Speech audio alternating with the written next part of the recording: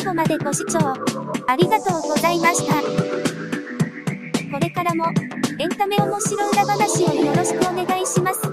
もしよろしければチャンネル登録していただけるととっても嬉しいです。スマホの方は画面下のチャンネル登録ボタンからお願いします。